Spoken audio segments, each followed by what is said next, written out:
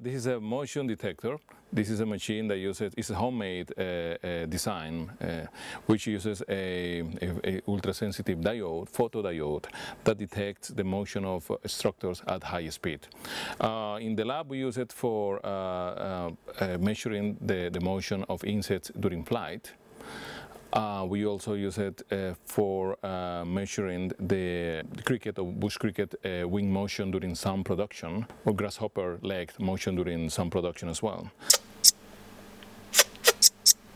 The machine will detect the motion of the of the of the structures as um, as um, changes in voltage. So the, these changes in voltage can be translated into displacement, and then based on that we can study the velocity of the structure we're measuring.